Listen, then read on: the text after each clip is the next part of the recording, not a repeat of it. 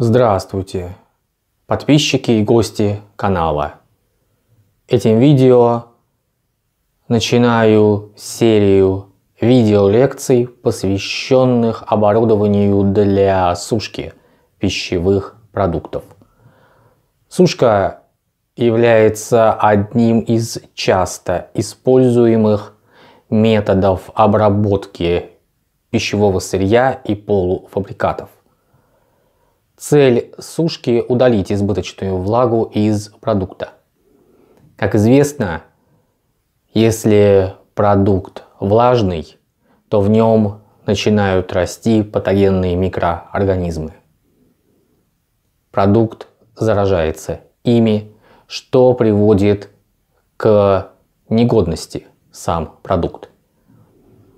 О том, какие типы влаги бывают в продукте, я лишь упомяну некоторые из них. Это поверхностно связанная влага, свободная влага, физически, химически связанная влага, осмотически связанная влага, капиллярно связанная влага. А об этих и других типах влаги более подробно вы можете прочитать в учебниках по процессам и аппаратам пищевых производств. В наших видео я не буду на этом подробно останавливаться. Конкретно это видео посвящено классификации сушильных установок и классификации способов сушки. Одними из часто используемых способов сушки являются это физический способ сушки, например, на центрифугах, и тепловой способ сушки. Тепловой способ сушки одновременно сочетает в себя процессы диффузии и процессы тепловые. Более подробно процессы сушки мы рассматривать будем лишь вскользь в том случае, если это будет крайне необходимо для объяснения того, как работает сушильное оборудование. Но не более того. Возможно, очень коротко затронем э, работу с диаграммой Рамзина. Или, возможно, вы знаете ее под именем ИД диаграмма. Но если это и будет, то это будет лишь поверхностное знакомство. Сейчас в этом видео вы увидите рассказ о классификации сушек и сушильных установок, классификации способов сушки, подвода тепла, того, как тепло передается от сушильного агента к продукту и так далее. Смотрите об этом в этом видео далее. Сушильные установки классифицируются по ряду признаков. Первое. По способу подвода тепла к влажному материалу. Конвективные, кондуктивные или контактные, радиационные при помощи инфракрасных лучей, при помощи токов высокой частоты и сверхвысокой частоты. Второе. По давлению воздуха в сушильной камере атмосферные, вакуумные и сублимационные. Третье. По характеру работы аппараты периодического и непрерывного действия. Четвертое. По виду сушильного агента. Аппараты, использующие нагретый воздух, дымовые газы, смесь воздуха с дымовыми газами или перегретый пар. Пятое. По циркуляции сушильного агента. Установки с естественной циркуляцией и с принудительной циркуляцией при помощи центробежных и осевых вентиляторов. Шестое. По характеру движения сушильного агента относительно материала. Прямоточные. При одинаковом направлении движения сушильного агента и материала. Противоточные.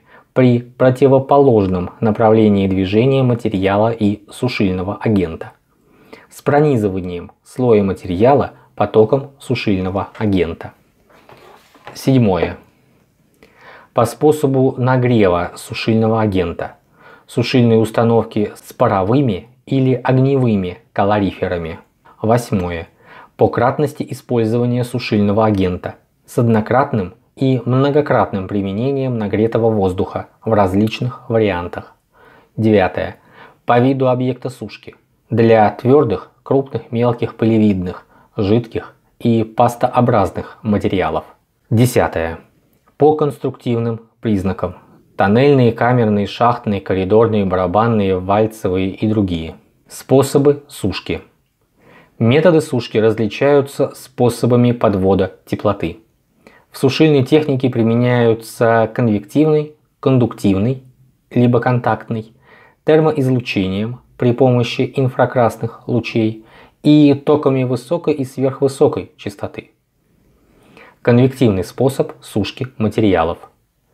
Этот способ сушки получил широкое распространение. Сушильный агент, нагретый воздух, перегретый пар, либо смесь топочных газов – выполняют функции теплоносителя и влагопоглотителя. Простота, возможность регулирования температуры материала – преимущество этого метода. Но при этом способе градиент температуры ΔT направлен в сторону противоположную градиенту влагосодержания ΔU, что тормозит удаление влаги из материала. Другим недостатком конвективного способа сушки является от относительно небольшие величины коэффициента теплоотдачи от сушильного агента к поверхности материала от 11,6 до 23,2 Вт, деленное на метр квадрат Кельвин. Возможности интенсификации конвективной сушки связаны с увеличением тепломассообмена между материалом и сушильным агентом путем повышения скорости и температуры сушильного агента, либо уменьшения размера частиц. Сушка материалов в неподвижном слое. В камерных, ленточных, конвейерных, тоннельных и шахтных сушилках процесс осуществляется в неподвижном слое. Тоннельные сушильные установки используют для сушки плодов. Для их установки характерны простота конструкции, надежность в работе. Основной недостаток тоннельных сушильных установок – параллельное движение воздуха и материала, что значительно уменьшает контакт и теплообмен между ними. Обслуживание тоннельных сушилок требует больших затрат ручного труда на загрузку и выгрузку материала на сито и тележки. Шахтные сушильные установки э, с опрокидывающимися полками обеспечивают непрерывность процесса сушки. Однако продолжительность сушки пищевых материалов в этих аппаратах в 2-3 раза выше, чем в ленточных конвейерных сушильных установках. Наиболее совершенные из них ленточные конвейерные сушильные установки, обеспечивающие непрерывность процесса сушки. Однако они также имеют существенные недостатки. Ограниченная скорость и неравномерное распределение воздуха приводят к неравномерному распределению тепла и влаги, к возможным местным перегревам материала. Сушка во взвешенном слое. Интенсификация сушки пищевых материалов во взвешенном слое объясняется гидродинамикой процесса. Сушка во взвешенном слое осуществляется в аппаратах кипящего, псевдоожиженного и фонтанирующего слоя. Кипящий слой образуется в камере постоянного сечения, фонтанирующий в каналах переменного сечения с постепенным расширением по ходу движения сушильного агента. Взвешенный слой характеризуется непрерывным хаотическим движением и перемешиванием частиц, в определенном объеме по высоте, высокоразвитой поверхностью соприкосновения материала с нагретым воздухом, так как при этом способе сушки каждая частица равномерно омывается потоком нагретого воздуха со всех сторон. Это приводит к равномерному нагреву материала и срыву пограничного слоя испаряющейся влаги, что позволяет применять повышенные температуры нагретого воздуха до 110-180 градусов Цельсия в зависимости от вида материала. В результате значительно сокращается продолжительность сушки, уменьшается воздействие теплоты на продукт, увеличивается удельная нагрузка материала, лучше сохраняются свойства продукта, чем при низкотемпературной сушке в неподвижном слое. Начальная фаза кипящего слоя не обеспечивает движения и полного перемешивания всех частиц, поэтому сушку проводят в развитой стадии кипящего слоя, при котором высота слоя движущихся частиц вдвое превышает начальную высоту неподвижного материала. Режимы фонтанирующего слоя характеризуются начальной фазой фонтанирования при скорости воздуха ВНФ и устойчивым фонтанированием ВУФ.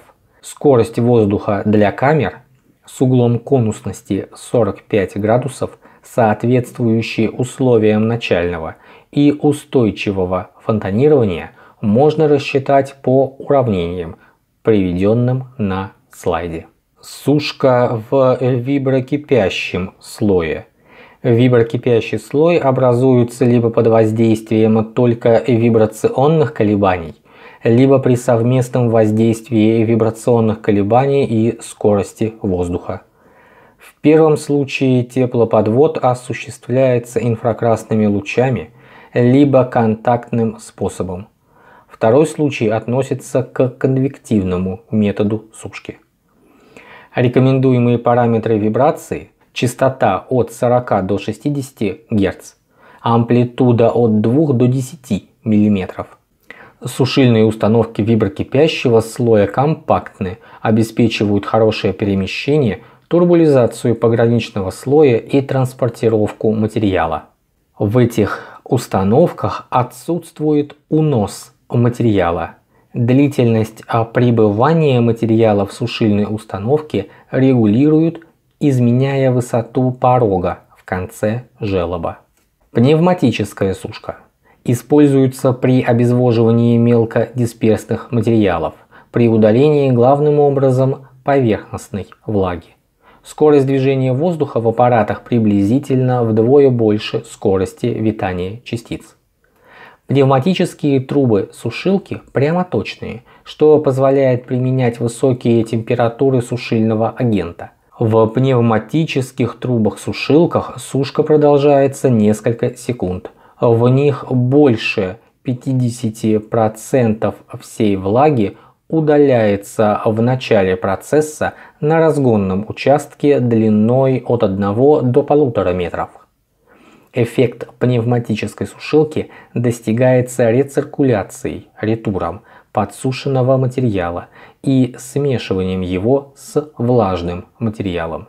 Применяют сушилки различных конструкций для увеличения количества испаренной влаги при небольшой высоте аппарата, типа труба в трубе, серпантин спирального типа.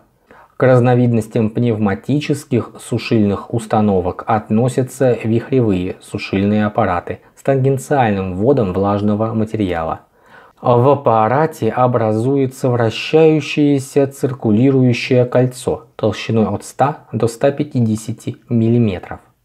В зависимости от размера частиц, пребывание их в камере длится от 2 до 3 минут. Спиральные пневматические сушильные аппараты изготовлены в виде плоской бифилярной спирали в вертикальной плоскости. Влажный материал с нагретым газом в сушильной камере проходит от входного патрубка к центру камеры и от центра к периферии и к выходному патрубку. Распылительная сушка получила распространение при производстве сухого молока и молочных продуктов, сухих молочных смесей детского питания, сухой крови, быстро растворимого кофе – является перспективной при производстве овощных и фруктово-ягодных порошков. Этот метод позволяет значительно интенсифицировать процесс за счет максимального уменьшения размера частиц. В этих установках создается огромная поверхность испарения мелкодиспергированных капель раствора, поэтому используют повышенные температуры сушильного агента до 200 градусов Цельсия при сушке термолобильных пищевых материалов. На процесс испарения затрачивается большое количество теплоты, и температура материала регулируется по температуре уходящего воздуха, которая достигает от 70 до 80 градусов Цельсия. Невысокая температура материала и быстрая сушка, несколько секунд, позволяют получить сухой порошок практически с полным сохранением питательных и биологически активных веществ. В качестве воздухоподогревателей применяют паровые калориферы различной конструкции. Пластинчатые, ребристые, из стальных труб с приваренными прямоугольными пластинками, шайбовые с приваренными к трубам шайбами или с навитой на трубах металлической лентой. В калориферы пар подают под давлением от 0,8 до 1,6 мегапаскаль. Нагретый в подогревателях до 160-200 градусов Цельсия воздух поступает в сушильную камеру Чаще всего она имеет форму цилиндра с плоским или коническим основанием, реже прямоугольника с двускатным дном. На металлическом из профильной стали или железобетонном каркасе закреплены двойные стенки. Внутренняя из листовой нержавеющей стали или метлахской плитки, наружная из листовой стали. Возможно, Возможны верхние и нижние прямоточные подачи воздуха и раствора. При нижней подаче скорость воздуха в камере должна быть выше скорости витания наиболее крупных частиц материала. Кондуктивный способ сушки материалов основывается на передаче тепла материалу при соприкосновении с горячей поверхностью. Воздух служит только для удаления водяного пара из сушилки, являясь э, влагопоглотителем. Коэффициент теплоотдачи при этом способе значительно выше, чем при конвективной сушке и составляет от 170 до 180 Вт, деленное на метр в квадрате Кельвин.